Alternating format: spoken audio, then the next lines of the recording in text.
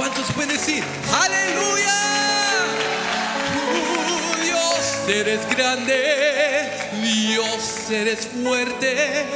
Estás en lo alto y no hay otro. Dios, tú nos sanas. Tú eres poderoso, mi Dios. Mi Dios. Dilo conmigo todos. Dios eres grande, eres fuerte, estás en lo alto y no hay otro.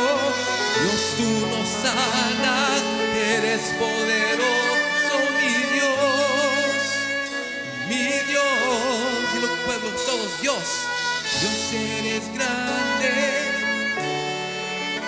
estás.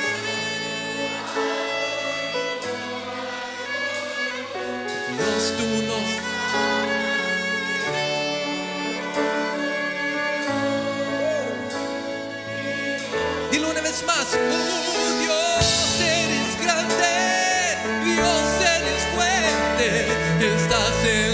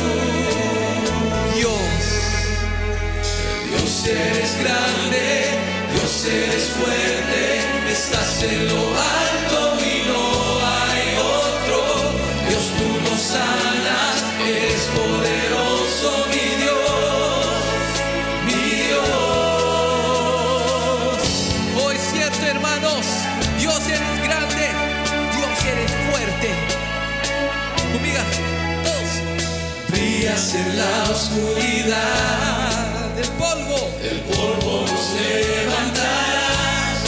No hay nadie, no hay como tú, como tú. Dios eres grande, Dios eres fuerte, estás en lo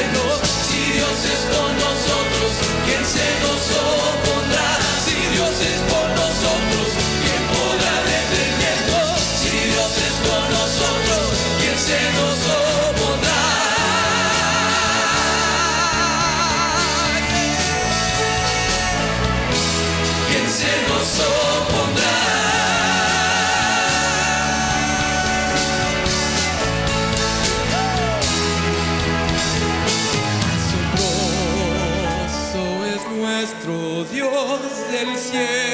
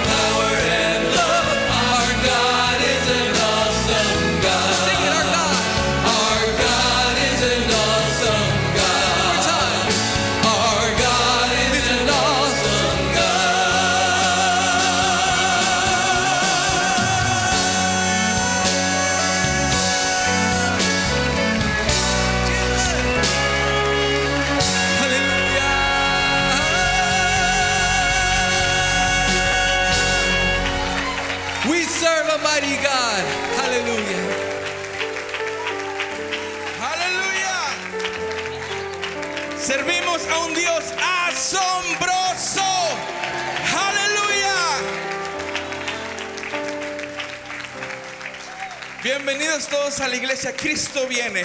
Un domingo más donde nos hemos reunido, donde has tomado de tu tiempo para venir a adorar al Dios único, Dios creador. Una vez más, levante ese aplauso bonito a nuestro Dios. Aleluya.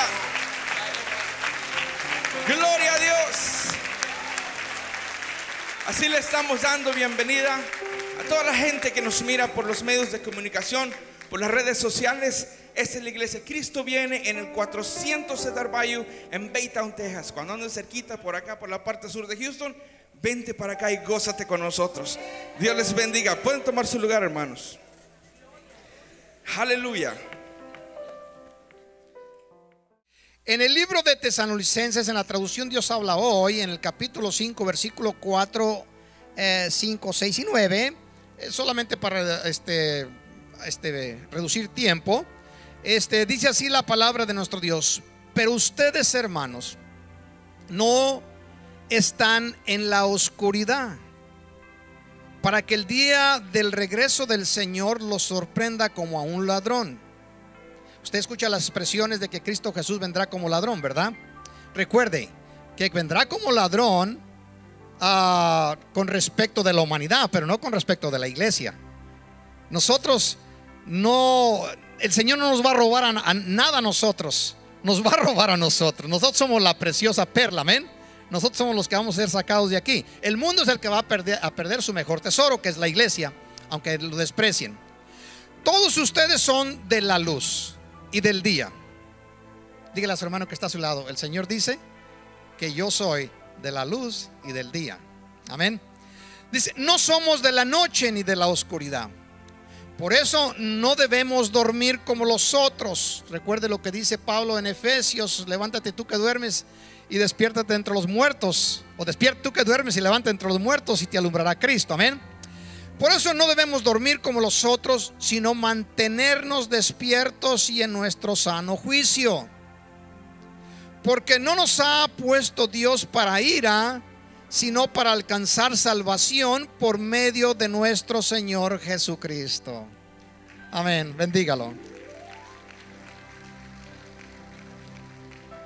La última porción cuando está hablando que no nos ha puesto para ira, está hablando de la ira venidera, está hablando de los uh, siete años de gran tribulación. de los cuales Cristo mismo se refiere que será tribulación cual nunca antes ha existido desde la fundación del mundo, ni volverá a existir. Hay grupos eh, cristianos, hay diferentes escuelas. Algunos dicen que el rapto de la iglesia, en la cual usted y yo creemos, de que acontecerá antes de iniciarse la tribulación. Por esto Cristo nos dice aquí en su palabra que no nos ha puesto para ira, no nos ha puesto para el juicio de Dios, sino para alcanzar la misericordia de Dios por medio de nuestro Señor Jesucristo. Hay otro grupo que dice que Cristo vendrá o el rapto de la iglesia acontecerá como a la, a la mitad de la gran tribulación. Que a los tres años, primero los tres años y medio no serán tan difíciles. Muchos estudiosos bíblicos, muchos predicadores dicen los primeros tres años y medio de la gran tribulación no serán tan difíciles. No sé de dónde toman la información. Porque cuando usted empieza a darle lectura al libro de Apocalipsis capítulo 6 en adelante, cuando empieza con los cuatro caballos, los primeros sellos, este, usted se da cuenta que para cuando terminan los primeros tres años y medio, más o menos como la mitad de la humanidad ha perecido en los juicios de Dios. De manera, si usted no, si alguien le llama no tan difíciles, el que se pierda la mitad de la humanidad en tan solo tres años y medio, pues no sea lo que le llamarán difícil o, o problemático o de gran dificultad o tribulación. Este, déjeme decirle que los siete años de la gran tribulación, la cual la Biblia está repleta de información con ello, serán años que, como dice la escritura, en aquellos días, ¿quién podrá encontrarse de pie delante del Señor? Con esto quiero decir, hay unos términos usados en el mundo secular, o el mundo los usa, que viven en un infierno. Pues déjeme decirle que si se le puede identificar a, años difíciles en la tierra como, como expresiones como el infierno, como que están viendo un infierno, estos siete años serán los que pueden usar, que se le puede acercar un poquito, claro que no serán eh, eh, similar, pero al menos esos son los únicos años que podrían usar en una forma más apropiada. El infierno se eh, volcará sobre la tierra en esos siete años. Por eso el, Espíritu Santo nos dice y nos promete a través del apóstol Pablo que Dios no nos ha puesto para ira, sino para alcanzar misericordia. Amén. Usted y yo no tenemos que pasar por eso, ya pasamos en la cruz. El juicio que Dios descargó sobre nosotros lo hizo en la cruz, en la persona santa y divina y perfecta e inocente de nuestro Señor Jesucristo. Así que el que usted lo haya recibido por fe, aceptado lo que Cristo hizo en la cruz del Calvario a su favor. Se le ha adjudicado, se le ha adherido a usted la obra de Cristo como si usted mismo la hubiera hecho, porque es por fe, ya que la Biblia nos dice que el justo por la fe que vivirá. Muy bien, según el apóstol Pablo, el retorno de Jesús no debe de tomarnos desaprevenidos. No debe de tomarnos a este durmiendo. Eh, en cuanto al día, la Biblia nos menciona a través de nuestro Señor Jesucristo cuando, con mucho detalle de, respecto a su retorno. Este, no nos dice qué año. Y voy a hablar unas cosillas que algunos de ustedes eh, en su teología van a, decir, ay, pastor, se está metiendo en, tierra, en, en un poquito de tierra delicada ahí. Este, Déjeme decirle que la Biblia nos habla con muchos detalles con respecto del retorno de Jesús. Este, eh, el que usted y yo no digamos más o menos las fechas, puesto que nunca conocemos el año, pero en, sí el día no está tan oscuro como la mayoría lo piensa. Cristo en una ocasión dijo, eh, con respecto de la venida de Él, el día y la hora nadie la conoce o nadie la sabe, sino mi Padre.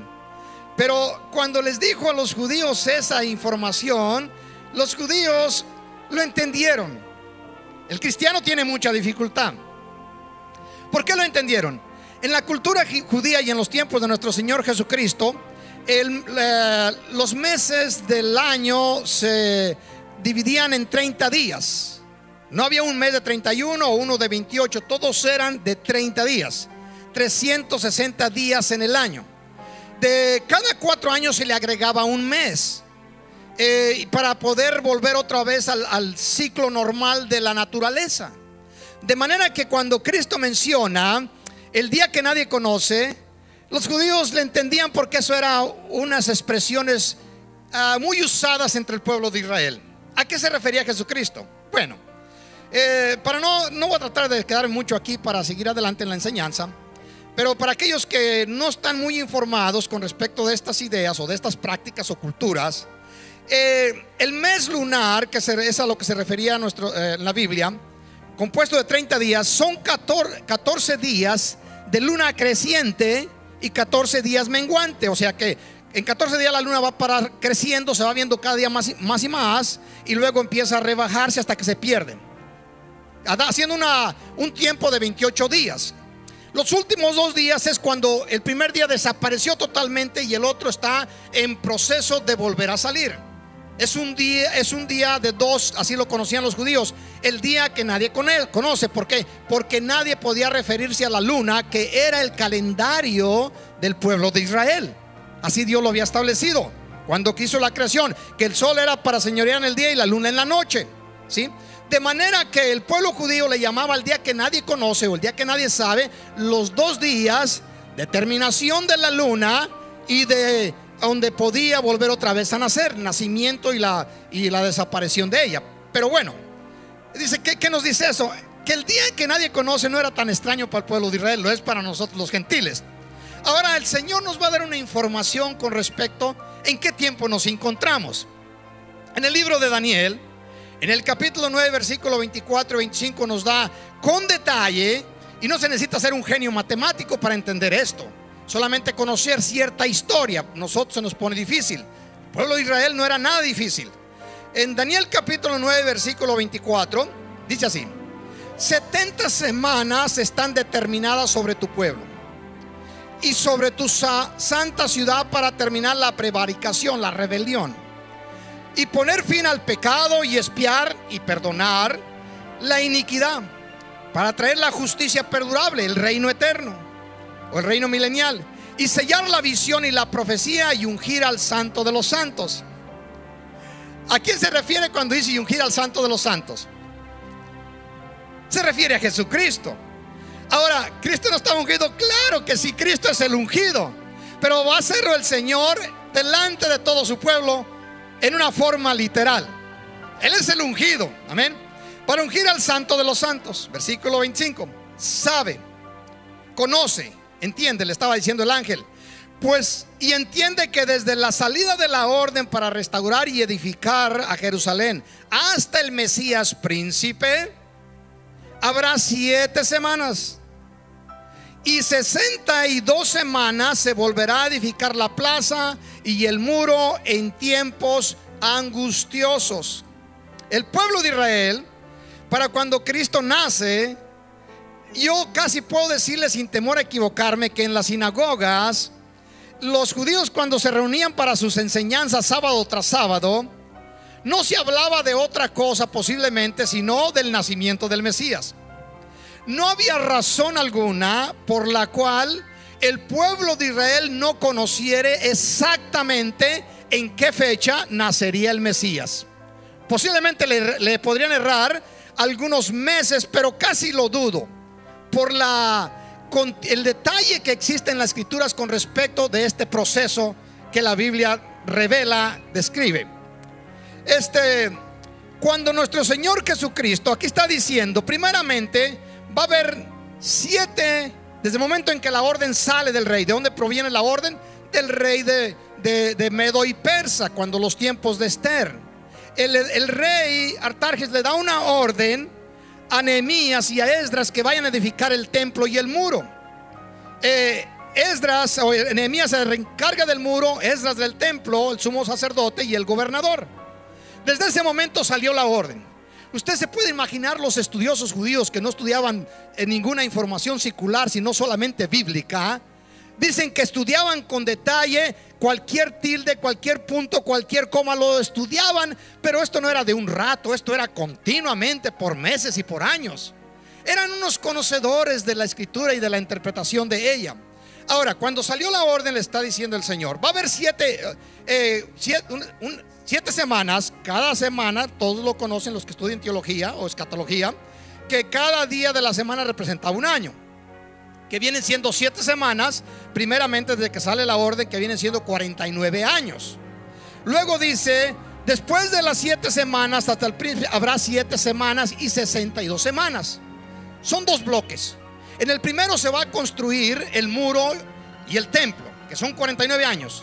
Y en el segundo va a haber una gran dificultad, guerra tras guerra, tras guerra, tras guerra, hasta la muerte del Mesías. Y esto lo encontramos, si usted lee, los libros de la historia apócrifos o los libros secretos, se encuentra con los macabeos que son los que sobresalen tanto ahí y se da cuenta de la historia del pueblo de Israel, las luchas que tuvieron después de haber retornado de, de, Medo Persa con Nehemías, cuando regresan de Babilonia, como luego se, menciona, como se menciona. Este después de los 70 años de cautiverio. Ahora, eh, el Señor está diciendo, van a ser primeramente 7 semanas y 62 semanas que nos lleva a 69 semanas para la muerte del Mesías. Y en el momento, vea cómo lo dice, el príncipe habrá 7 semanas y 62 semanas se volverá a edificar la plaza y el muro en tiempos angustiosos. Nos queda una semana. En el momento, más adelante estaremos viendo otro versículo que nos va a informar de esto en el momento en que pararon las 69 semanas, quedó una semana en el aire. Esa semana todavía no ha iniciado. Esa semana, en el momento en que inicie, nos va a llevar eh, a esos siete años que se le conocen como la gran tribulación. Ahora, en Mateos capítulo 2, versículo 1 va a parecer extraño y como que es otra enseñanza, pero eh, lo va a entender usted porque lo trato de mencionar en este día. Mateos capítulo 2, versículo 1. Cuando Jesús nació en Belén de Judea en, el, en los días del rey Herodes, vinieron del oriente a Jerusalén unos magos. La traducción magos viene de una expresión sayers que significa magos, reyes o sabios. Los eh, intérpretes o no intérpretes, los, los traductores de la Biblia, los que lo pusieron a nuestros idiomas, decidieron tomar la información magos. Pero la palabra correcta, la más apegada a la original, es sabios. ¿De dónde vinieron estos sabios? Dice allí la escritura, vinieron de dónde? Del oriente.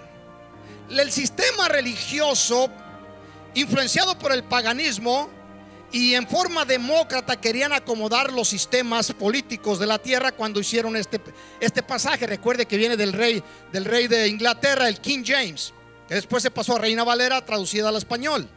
Entonces ellos queriendo entrar allí, decidieron poner que los reyes, por cuestiones de los regalos, fuesen tres. Y que uno venía de Europa, otro venía de Arabia y el otro de la India. Y entonces en las ah, historias y en los videos y todo eso ponen a un rey que viene en un elefante, otro que viene en un camello y el europeo viene en un caballo. Ah, que se les dieron nombres Melchor, Melchor, Gaspar y Baltasar totalmente nombres ingleses o nombres eh, latinos o ingleses eh, de las regiones de, Europa. Ahora, ¿quiénes eran estos sabios? No se necesita mucho conocer quiénes eran. Dice la escritura, venían del oriente. Si usted estudia la Biblia, ¿a qué se le llamaba el oriente? No se le llamaba el oriente a la China, no se le llamaba el oriente a Japón, se le llamaba el oriente a Babilonia donde Daniel se había sido eh, preso y estuvieron allá 70 años el pueblo Israel. Allí se quedaron muchos cuando retornaron en el tiempo de Nehemías. Se quedó mucho judío. Muchos judíos creyentes que vivían bien en Babilonia. Cuando regresó el pueblo de Israel a la tierra prometida, decidieron ellos quedarse, pues tenían casas, tenían bienes, tenían posiciones, eran gobernantes en Babilonia. Y decidieron no regresar con el pueblo de Israel. Pero el que no hayan rezado no quiere decir que dejaron sus creencias. Siguieron creyendo en el Dios de Abraham, de Isaac y de Jacob. Para el nacimiento del Mesías, estos estudiaban continuamente los libros que les había dejado Daniel, Jeremías, Ezequiel, Oseas y libros como de Joel. Todos ellos eran estudiosos en estos escritos santos. Ahora, ¿por qué estos hombres no reconocieron al Mesías? Recuerde, para este tiempo, si estudiaban un poquito los escritos, se darían cuenta exactamente que el Mesías habría de nacer en ese tiempo. ¿Le iban a creer a María la jovencita, a la, Virgen? ¿Le iban a creer? No le creyeron. No le quisieron creer ni a los pastorcitos o a los pastores que se les reveló una gran multitud de ángeles, de huestes celestiales y fue notorio en la región.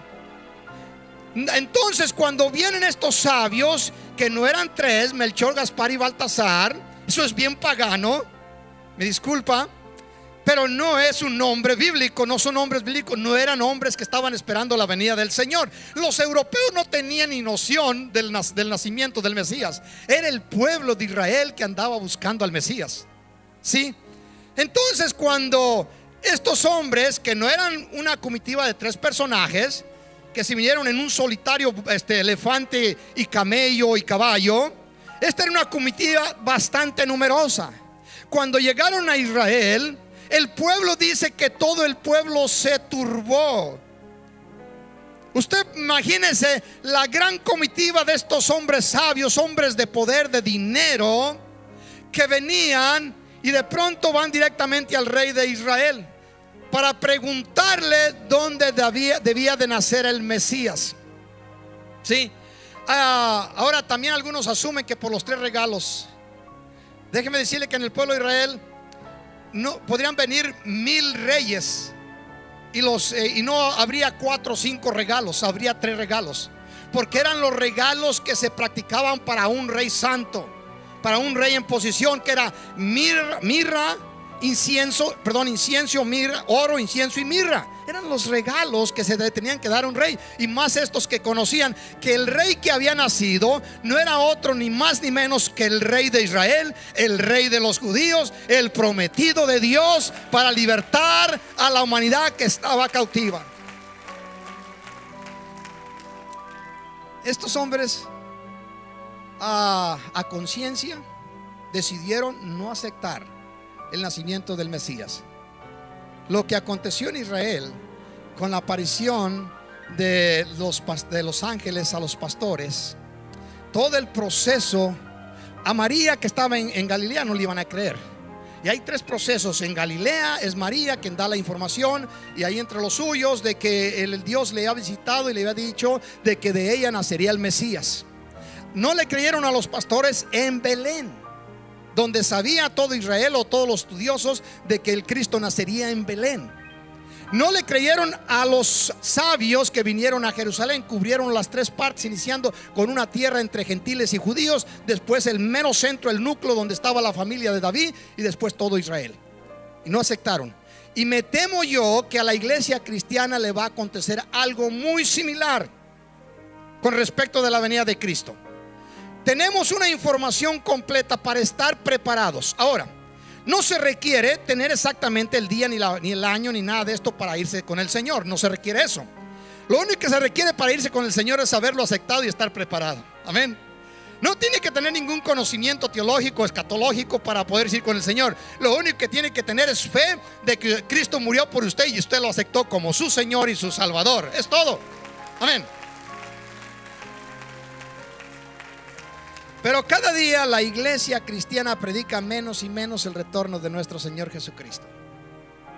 Y eso es trágico, porque cada vez que se habla menos de su retorno, menos de la inminencia de su retorno, este, la, iglesia cristiana empieza a dormitarse. Por eso el apóstol eh, Pablo dice, despiértate tú que duermes. Dígale a su hermano que está a su lado, a su hermana, dígale, no te vayas a dormir.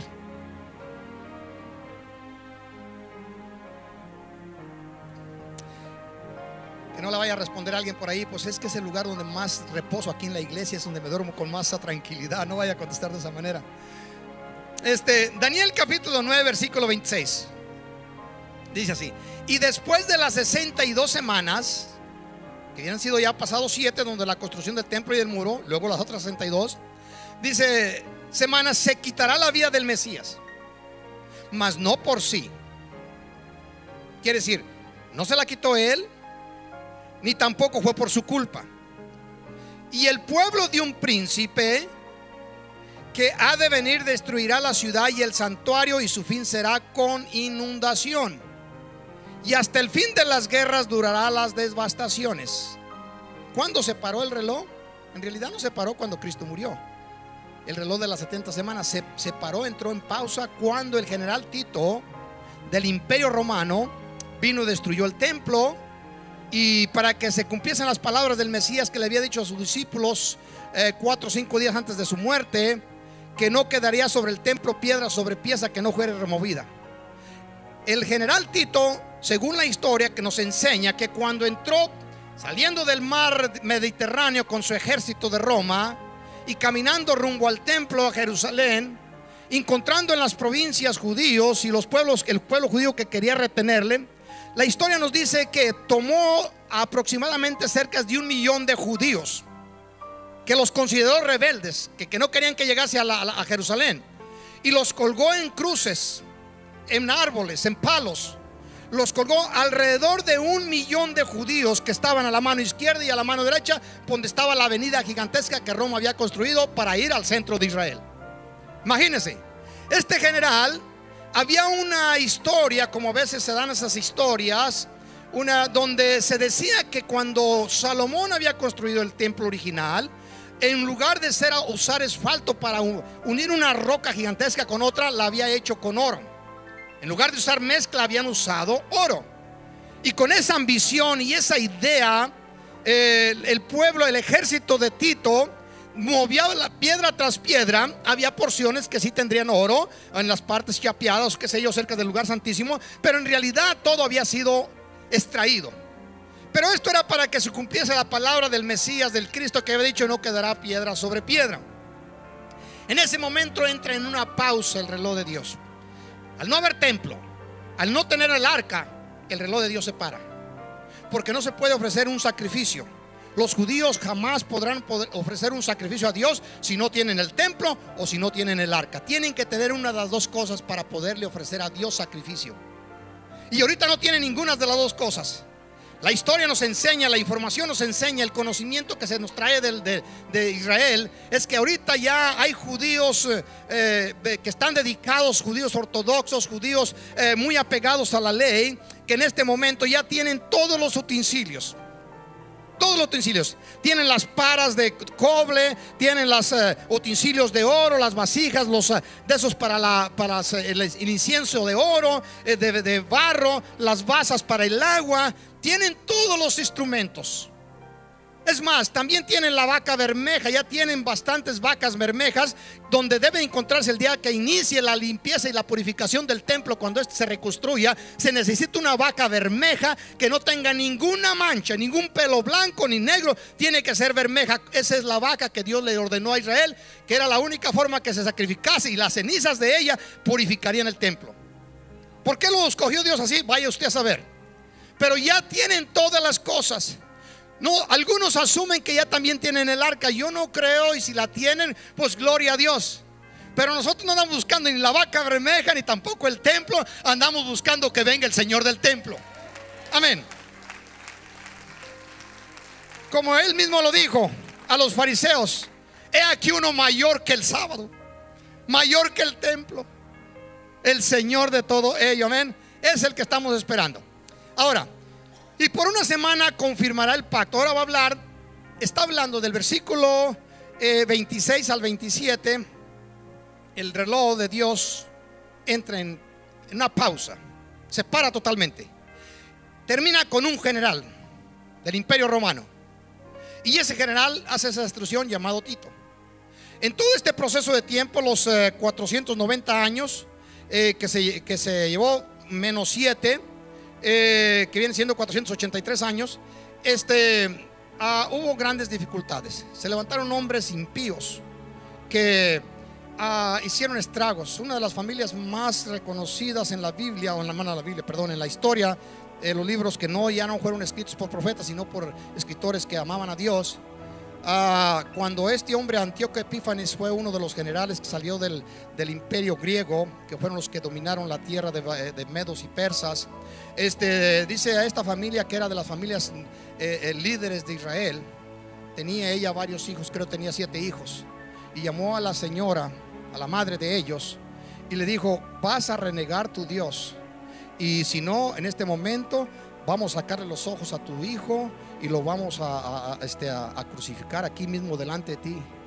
Y entonces le dijo ella, y teniendo los, todos sus hijos ahí, ¿usted cree, eh, mi Señor, que yo voy a renegar a, a- a mi Dios porque se me amenaza que uno de mis hijos va a morir. Dice, usted no entiende, ni mis hijos ni yo renegaremos jamás a nuestro Dios. Y si se nos quita la vida, que se nos quite. Y uno tras uno le fueron matando y terminaron con la señora. Dice, pero a las penúltimas palabras de la señora fueron estas, pero nosotros serviremos a nuestro Dios. Déjenme, son historias muy, muy, muy fuertes las que se encuentran ahí. A, veces cuando uno las estudia en la historia, hasta se pone uno a llorar de ver la firmeza de, estas, de estos hombres. Este hombre que es un representante salió de Alejandro el Magno, Antioquia Epífanes, que fue el cuarto general de ellos, fue uno de los que hizo estragos. Para el año 135 de la historia de nosotros, perdón, antes de nuestro Señor Jesucristo, aparece otro imperio, el imperio romano y, de- y de- destruye totalmente al imperio griego, lo absorbe y lo mezcla entre ellos y el imperio romano. Para el año que nace nuestro Señor Jesucristo está en actualidad Roma. Por los últimos 135 años Roma ya es el Señor de la tierra. Y en ese momento, en ese tiempo es cuando nace nuestro Señor Jesucristo. Contrario a lo que muchos piensan, es la etapa, mm, según la historia, donde había un poco más de paz, porque el imperio romano había subyugado a todos los imperios de su alrededor y nadie podía levantarse en contra de ellos. Ahora dice aquí, dice, después con, y por una semana confirmará el pacto con muchos, esto está hablando, deja el general Tito y entra el anticristo. Cuando inicia el, re- el reloj de Dios una vez más, aparece el anticristo para hacer un pacto con el pueblo de Israel. Va a ser el personaje más atractivo de la tierra, el cual el pueblo de Israel va a recibir con los brazos abiertos. Ya están listos para hacerlo, porque realmente han perdido sus convicciones en mucha parte con respecto de nuestro Señor. Y van a recibir al anticristo, un ser tan capaz, tan eh, atractivo, tan carismático, como no será pisado esta tierra aparte de nuestro Señor Jesucristo. De manera que no va a ser de eh, fácil este, poder discernir a este hombre si no se conoce a Cristo, que el Espíritu Santo nos dé revelación. Cuando el pueblo de Israel, en este caso en los ah, años de los ah, apóstoles, en el inicio de la iglesia primitiva, el, eh, este, uno de los diáconos llamado Esteban, es atrapado, se le, eh, se le eh, acusa de ser un blasfemo, de hablar blasfemias en contra del templo y en contra de Dios. Y entonces apresan a este diácono de los siete que habían elegido y lo llevan preso. Y el que lo apresa, el que va al comando es el apóstol Pablo. El apóstol Pablo es el primero que tenía que tirar la primera piedra sobre Esteban. Y imagínense, estamos hablando de Pablo, Saulo de Tarso el doctor de, lo- de- de los gentiles, el apóstol que la Biblia eh, informa que es más grande que se levantó por la misericordia de Dios. Dice él en, sus propias palabras, porque Dios me tuvo en misericordia, pues habiendo sido yo un criminal, un asesino, en otras palabres, lo peor de la la- del pueblo. Pero este hombre reconoció a Cristo cuando se le apareció cuando iba camino a Damasco para ir a apresar los cristianos que se encontraban en Damasco. Amén. Ese hombre tuvo un encuentro con Cristo como tú y yo lo tuvimos en una forma extraordinaria. Dice así eh, este Esteban defendiendo su causa. Les dice a los religiosos que lo tenían, estando Pablo al frente de ellos, duros de cerviz e incircuncisos de corazón y de oídos, vosotros recibiste resisteis siempre al Espíritu Santo como vuestros padres, así también vosotros, al cual los profetas, a cuáles de los, de los profetas no persiguieron vuestros padres y mataron a los que anunciaron de antemano la venida del justo, de quien vosotros ahora habéis sido entregadores y matadores. Le está diciendo esto a los religiosos, a los santos, los que andaban con unos este, eh, trajes especiales que donde quiera que caminaban eh, le daban a los flecos de sus, de sus batas para que todos vieran, ahí viene el santo. ¿Sí? Ellos lo que querían era reconocimiento humano. Dice, ah, entregadores y matadores, como Cristo también les decía, hipócritas. Imagínense, mire cómo respondían ellos en el versículo 24. Oyendo estas cosas se enfurecían en sus corazones y ¿qué hacían? Y crujían los dientes contra él. Rechinaban los dientes. Yo cuando estaba pequeño hacía eso con mis dientes. Eh, Es más, cuando estaba estudiando eso quise hacerlo yo no pude. Yo no pude, uno, los dientes, uno le aguanta para eso. Este, pero estos hombres, dice, crujían, rechinaban los dientes en sus quijadas a cuando oían de que habían sido los entregadores y matadores del Mesías. Pero Esteban, lleno del Espíritu Santo, puesto los ojos en, el- en los ojos en el cielo, vio la gloria de Dios y a Jesús que estaba a la diestra de Dios.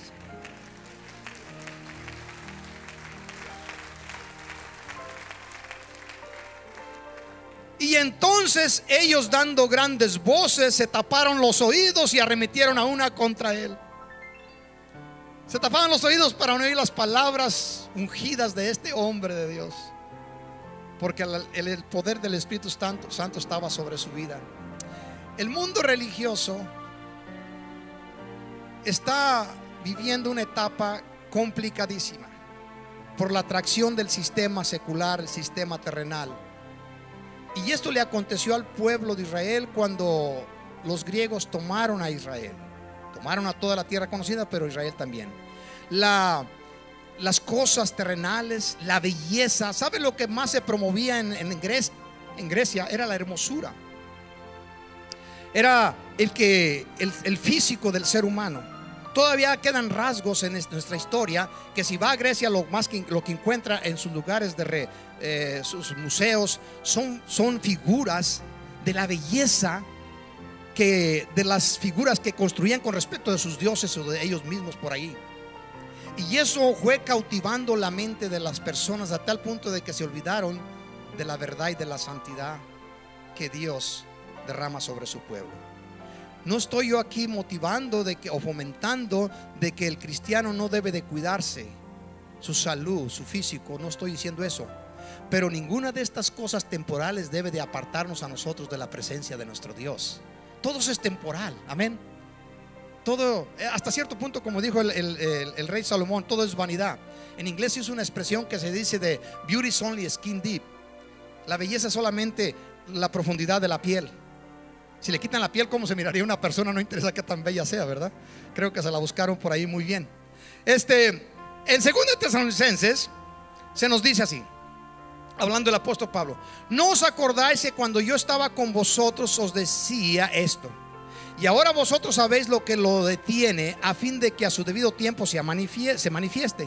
Está hablando de que se va a manifestar este ser eh, horrendo, este ser perverso llamado el anticristo, el hombre de pecado, el hijo de perdición, como la Biblia lo describe.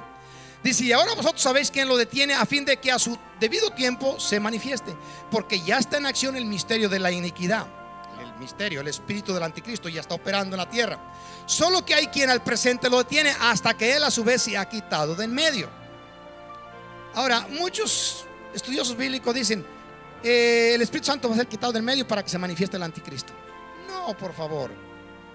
Es la iglesia, es el cuerpo de Cristo. Se usa el nombre, el pronombre Él, porque está hablando del cuerpo de Cristo. El Espíritu Santo, por si algunos tenían alguna interrogante, déjenme decirle, el Espíritu Santo es Dios. Es una persona. Amén. Una persona. Es Dios. Y a Dios no hay, Dios no se va a quitar a sí mismo. Si, si Dios se quitase de alguna eh, porción de su creación, su creación se desintegraría. Todo desaparece. ¿Por qué? Porque Él es el que sustenta todas las cosas por el poder de su palabra. Todo sobrevive en toda la creación por el poder de la presencia y de la palabra de Dios. Amén. Ahora va a acontecer algo que muchos no conocen. En el tiempo de la gran tribulación van a, a ser capacitados o ungidos 144 mil judíos, 12 mil de cada tribu. 144 mil judíos van a ser llenos del Espíritu Santo para predicar el Evangelio en esos últimos años. Capítulo 7 del libro de, Apocalipsis. Y terminan muriendo a manos del anticristo en el capítulo 14. So, tienen este siete capítulos donde pueden ejercer ellos su trabajo. Aparecen los dos testigos este, que vienen a predicar el Evangelio. Pero sobre todas las cosas, tanto en el capítulo 9, por ahí, en otros capítulos, mías que es el 11, aparece una gran multitud ante el altar, que fueron redimidos de entre el pueblo que quedó acá en la tierra en la gran tribulación. Y déjeme decirle, ni estos 144 mil, ni los testigos, ni los, todos los millones de personas que van a, a arrepentirse en el proceso de la gran tribulación podrían hacerlo si el Espíritu Santo no estuviera aquí. Porque nadie puede acercarse a Dios si el Espíritu Santo no lo trae al Señor. Nadie puede ser salvo si el Espíritu Santo no lo convence de pecado para que se arrepienta. De manera que el que el Espíritu Santo fuera quitado, la tierra quedaría en un caos y sería destruida instantáneamente. El que es quitado es la iglesia. Usted y yo, la iglesia de Jesucristo, somos los que estamos reteniendo el mal. Por eso Cristo nos dijo, ustedes son la sal del mundo. En otras palabras, ustedes son los que ayudan para que no se corrompa esta tierra. Son los preservadores de la tierra, de la humanidad. Ustedes, la iglesia. Ustedes son la luz del mundo. Si ustedes no estuvieran aquí, la tierra estaría en un caos oscuro y terrible de perdición y destrucción, como en los tiempos de Sodoma y de Gomorra. Pero cuando la iglesia sea quitada, entonces el anticristo aparecerá sin ninguna retención. Si ahorita en este momento apareciera el anticristo, déjeme decirle, hasta el cristiano medio, dando a entender, el cristiano promedio, más bien dicho, se daría cuenta del anticristo inmediatamente lo desenmascararía. Inmediatamente ah, no, no, que, usted escuchare, oigan, que salió uno allá y que se apareció en Israel y que va a construir el templo de Jerusalén y que dice que él es el Cristo, el Mesías. ¿Usted se la creería?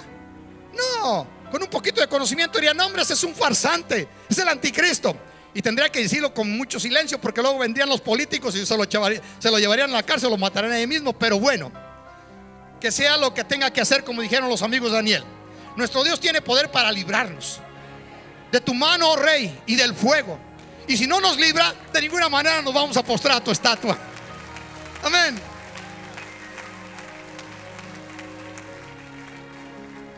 Déjenme decirles en el último tiempo que me queda, nosotros como no estamos nosotros buscando al anticristo, es más, la iglesia no miraremos al anticristo. Nosotros no lo vamos a ver para que el anticristo aparezca, tienen que pasar nueve días aproximadamente en los cuales la iglesia desapareció. Nosotros estamos no esperando al anticristo, esperando al Cristo. Amén. No tenemos ningún interés de conocerlo.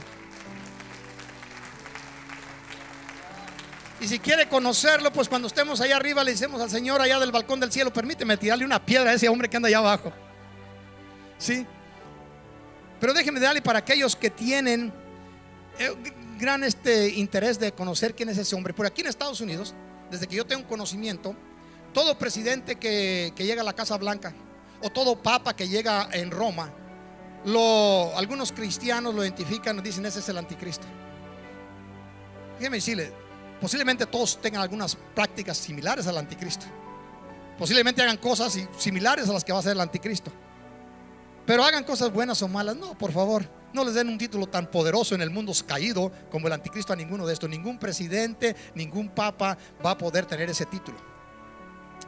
No lo va a tener. Dios lo tiene ya establecido para un hombre, una persona. Y déjeme decirle, por si alguno de ustedes quiere quedarse para conocer al anticristo y quiere por ir ahí y pedirle el ortógrafo, si le, ¿sabes qué? Pues mira, fírmame este billete de dólar aquí con tu firma. Déjeme darle unas 10 características y ya voy a terminar. Primeramente este personaje, aunque es hijo del diablo, no es engendrado por el diablo, Dios no se lo permite. Algunos dicen, este, el diablo viene, tiene relaciones con una mujer como en los tiempos antiguos, los ángeles caídos. No, no, no, esto ya no se puede. Desde que Dios entregó la ley, ninguna de, estas cosas puede acontecer. Para que conocen un poquito de Biblia. Este, su número dos, será uno de los hombres más educados que han existido y que saldrá de una de las mejores universidades de Europa. Esto, toda esa información se encuentra en la Biblia. Su carisma y oratoria será incomparable.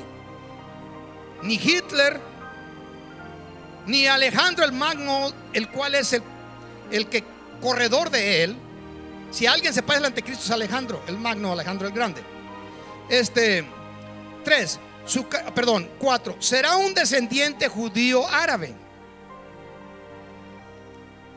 ¿Cómo? Sí, Va a ser uno que pueda hacer las paz entre los judíos y con los árabes. Es el único que les va a prometer tres años y medio de paz. siete años, a los tres años y medio va a romper el pacto con ellos. Este hombre le va a poder, va a poder convencer a los árabes de que le suelten la mezquita para construir el templo.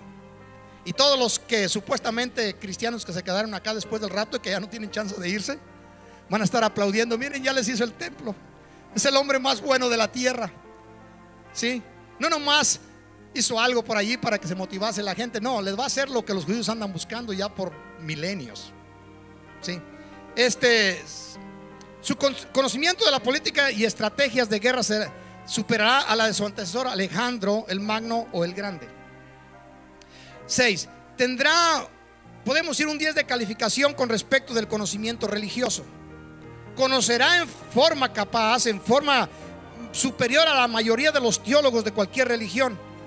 Supuestamente religión cristiana que haya quedado, que realmente pertenece a la gran ramera, los musulmanes, los hinduismos, el islam, todos estos grupos gigantescos de la tierra que controlan una gran multitud de la, o de la humanidad.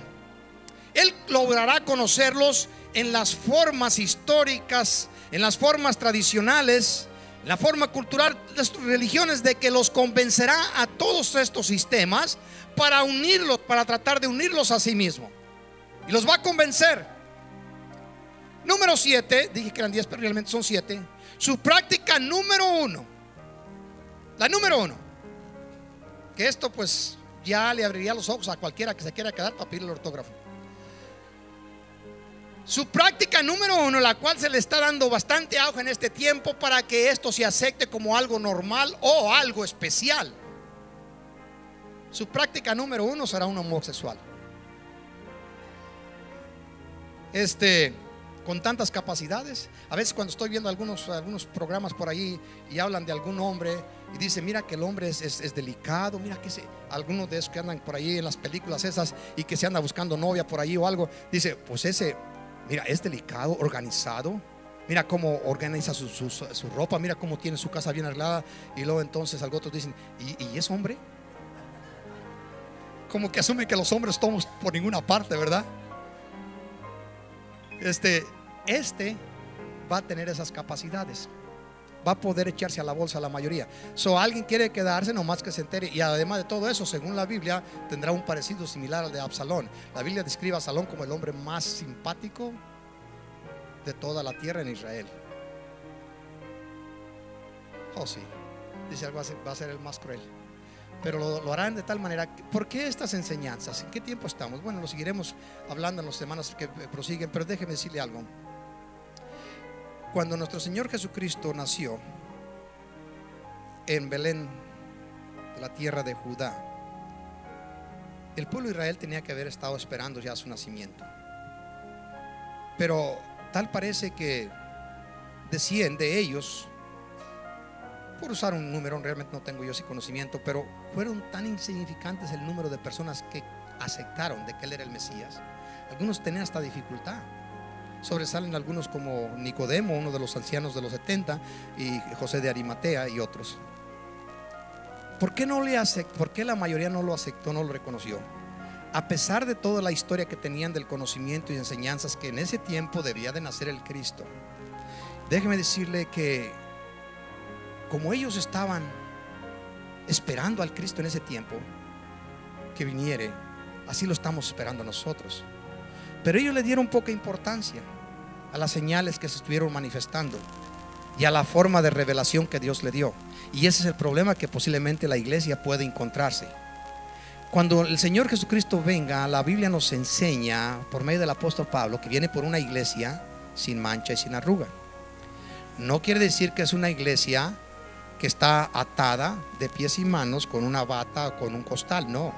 Mancha y arruga no quiere decir que es una persona que está metido en, una cueva por allá con un, ar- eh, un, ah, un, este, artima- no, ¿cómo se dice la expresión? Uno de esos hombres eh, que estén, ermitaño, gracias hermano, como un ermitaño, no. Lo que está diciendo sin mancha ni, ni arruga quiere decir que su corazón está firme, plantado en la promesa de Jesús, que lo está esperando, que aceptó a Cristo y que no anda divirtiéndose y jugando con el mundo, queriendo agradarle al mundo y a Dios. Amén. Déselo a nuestro Dios. Mientras el grupo pasa por acá, déjeme leerles últimas palabras. En Daniel 11, 37 dice, del Dios de sus padres no hará caso, será judío, eh, también mezclado entre los árabes, que eran parte de los descendientes de Abraham, ni del amor de las mujeres, quiere decir que será un homosexual, ni respetará a Dios alguno, porque sobre todo se engrandecerá. Filipenses 2.14 dice, hacer todo, hacer, todo sin murmuración y contienda. Está hablándonos a nosotros el Señor. para que seáis irreprensibles y sencillos hijos de Dios sin mancha en medio de una generación maligna y perversa, en medio de la cual resplandecéis como luminares en el mundo. Hacer todo sin contiendas ni murmuración, como hijos sencillos. Amén. Como dice la escritura, para que seamos como luminares que resplandecemos en el cielo. Debe de haber una distinción entre el resto del mundo y nosotros los cristianos en algún momento u otro se tiene que manifestar esa diferencia. Amén. Si nos miran de lejos, no nos van a conocer en la forma que caminamos. Yo me acuerdo que algunos predicadores antes decían, el cristiano se conoce hasta en la forma de caminar y dice, ¿cómo será? ¿Cómo le hago? Para que pueda identificarme, ¿no? No, no, no, no. No tiene nada que ver con los pasos, no tiene nada que ver con el físico, tiene que ver con el comportamiento. Amén con el comportamiento. Amén. Bendiga a nuestro Dios. Le invito a que se ponga de pie. Espero que hayamos disfrutado juntos porción de la escritura y que el Eterno nos afirme en su caminar, en su camino nos revele sus secretos para que así usted y yo sirvamos a nuestro Dios todos los días de nuestra existencia aquí en la tierra. Confiamos que serán muchos o hasta el día en que Él venga. Incline su rostro, Padre, en el precioso nombre de Jesús. Nos encontramos aquí en tu casa disfrutando de tu presencia, dándote gloria, Señor Dios, por todo lo que eres, Señor, por todo lo que nos revelas, por lo que nos permites sentir y disfrutar. Y ahora miremos delante de ti, mi Dios, buscando tu rostro y aprobación. Líbranos de todo mal, de estrategias humanas Líbranos, Señor Dios, de las ofertas de este mundo, Señor. Proveernos de las cosas necesarias, pero que el enemigo no nos quiera seducir como lo, lo trató de hacer con nuestro Señor Jesucristo, ofreciéndole las riquezas de la tierra y la gloria de ella. Que nuestro corazón, Padre Celestial, te firme, Señor, en el servirte a ti. En lo poquito que tú nos des, ayúdanos a serte fiel. Ser humilde, Señor, ser mansos Padre, que en ningún momento ninguna porción o ración de egoísmo, Señor Dios, vaya a apoderarse de nuestro corazón. O que nos sientamos padres superiores. Que ninguno de tus hijos, conforme les prospera, Señor, que la prosperidad, Padre Celestial, no vaya a influenciar en la vida de esa persona. De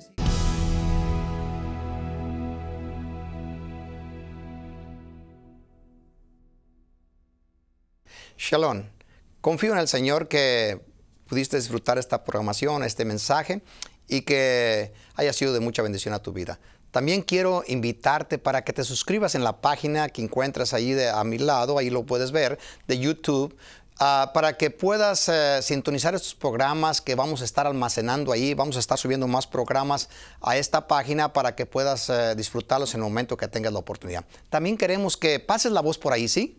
Y avísale a alguien para que haga lo mismo, se suscriba. Esto nos alienta a nosotros, nos motiva muchísimo para seguir produciendo estos programas que con esfuerzo y sacrificio lo hacemos, pero con mucho gozo y alegría. Así que te esperamos que lo puedas hacer y los eh, programas estarán, como ya antes lo mencioné, subiendo ahí para que los tengas para cualquier momento tú disfrutarlos. Pásala muy bien. Shalom.